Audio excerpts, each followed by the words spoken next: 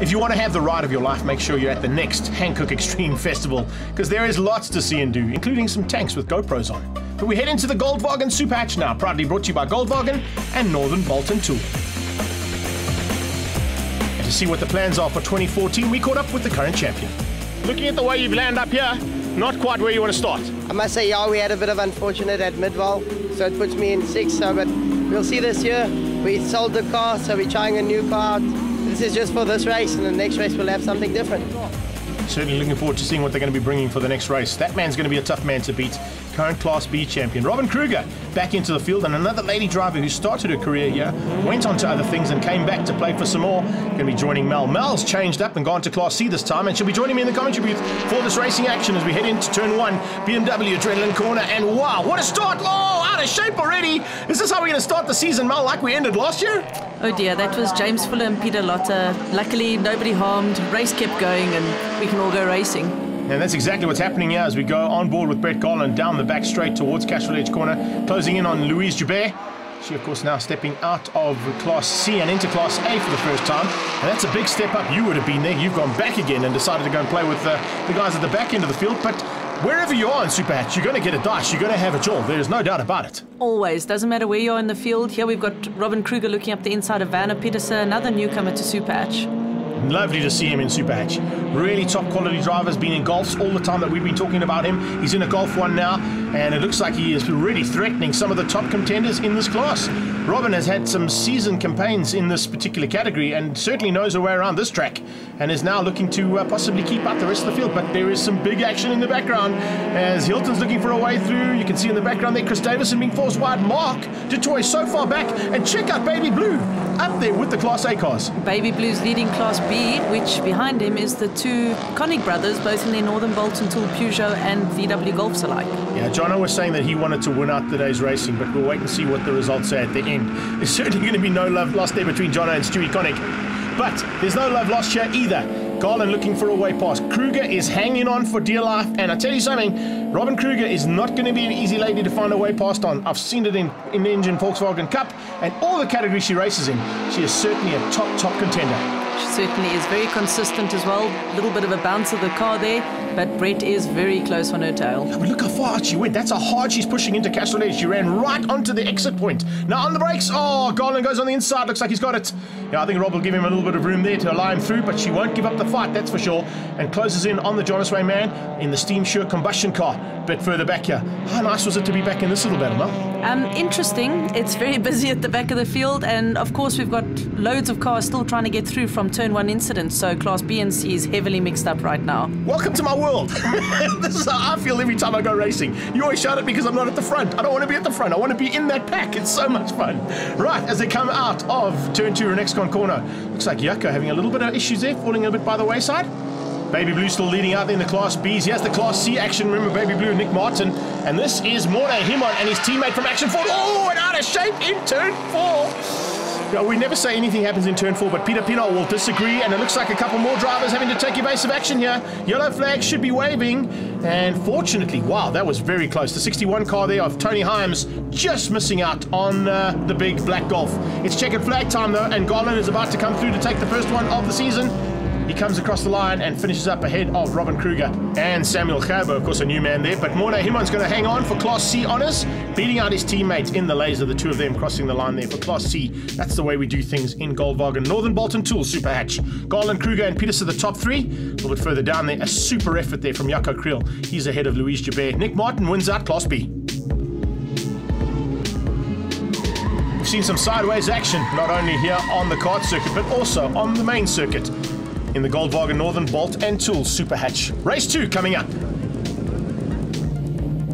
On board with Garland as the lights go out. Good start here. And as they head down into turn one, looks like Robin Kruger. But a water start from Peterson. Werner Peterson is going on the left-hand side of Mark Toy into turn one. Oh, and a big tap here. What is Garland doing? Turning in on Hilton. Forces himself wide.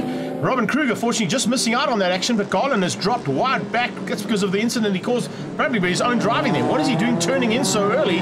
There was a Persia on your inside, Brady. I'm not quite sure what you're thinking there. Davison's around the outside of him now as they come through the rest of the pack. I can tell you something, that's not the way you want to be starting a Class A uh, contention of uh, possibly getting to the front end of a championship. Class B, it looks like, uh, well, a little bit of sandwich in the Class B's. Jeff Tugwell is back on track. We didn't see him in race number one, but it's Ishmael Beloy that leads things out there in the black and orange Honda. And not this one that we're looking at right now, the one a little bit further back. But I can tell you, this is how we start things out for race number two. Heading up onto the top of the hill, Chris Davison going to have to go defensive. The Honda looks dangerous on the inside. Has he got what it takes on the brakes? Robin Kruger doing a great job there on the camera work. But on the outside, you can see, there you go, Garland sneaking through on the Superboss. But I think Davison might just give him oh, a bit of a run for his money here through Kenwood. Unfortunately, loses out a little bit and now has to come back fighting from behind. At the front, though, Werner Petersen. What a start, eh, Mel? He had a fantastic start. Him and the two Superboss boys the back end of Class A reckon they launch better, but I think Werner just outdid them without one. Yeah, how was that little Golf one at the front end again? It's nice to see the Volkswagen product. We've seen a dominance from Honda and Peugeot for a long, long time. There were a few Golfs originally. There's a couple of Audis that I think are still coming on their way, but uh, we'll wait and see a little bit later on. Here is Class C, and in the thick of it is uh, Peter Lotter. It's our first race spinner. He spun out through turn one. He managed to get through there a bit easier. There's a change up for Class B. And it shouldn't be too much of a hassle. Yes, Ishmael Beloy fighting hard. But man alive, I don't know what Nick Martin has done to that baby blue car of his. It is on rails around here. Nothing. It's exactly the same. Going very well. There's Robin going past Hilton, and he has Brett coming through onto the back of Robin. Hilton, I think, just maintaining uh, as much as he can in terms of points collection that he can get over the two races here, because there are big plans, I believe, to go uh, into a Citroen and possibly into a 208 GTI by the end of the season. So I think this time out, he's won the championship. He's now consolidating, trying to develop a new car, and then going to be in the hunt again. Which is fantastic for Superhatch. It's always nice that the guys try and bring something new, a little bit more variety, and that's what makes everything so much closer. The manufacturers against one another. I can't wait till he gets that car sorted out so I can go play in the 207. Oh, battle for Class C on a slot for grabs here. That's one of the old cars out of ASAP and still being helped out there. The Northern Bolt and Tool Peugeot of uh, Koenig and fighting with Spissy.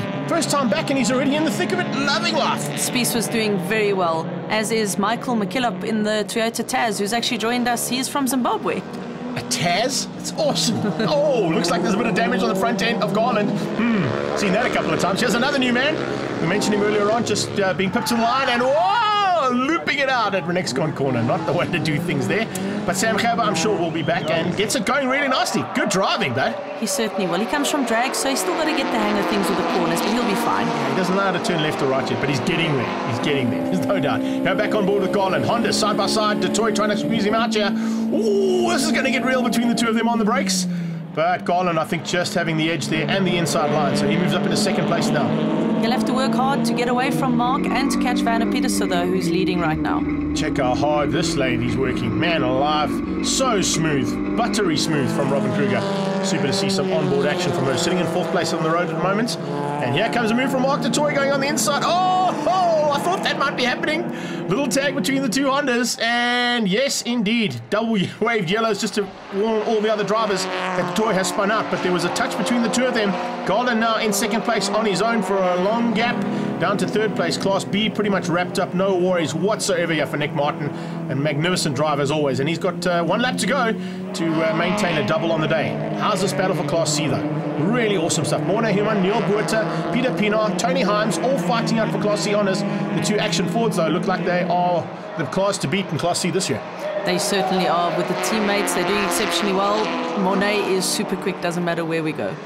Certainly is. He knows how to get a car around a track. You see that Nick Martin does too. He's still hanging on. Just behind him, another new man. In fact, first time out ever for Anton Otto.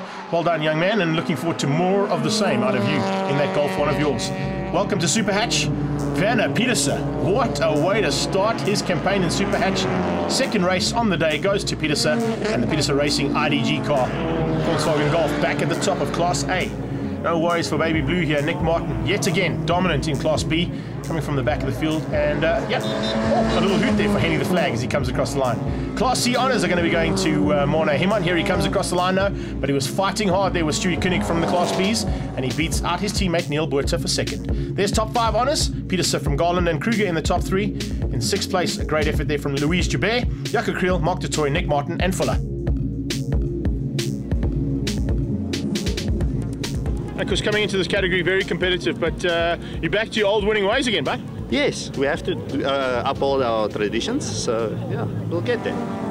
Nick, you just stuck to the old winning ways, buddy. Nothing wrong with Baby Blue, she seems to be on rails. But if it ain't broke, you don't fix it.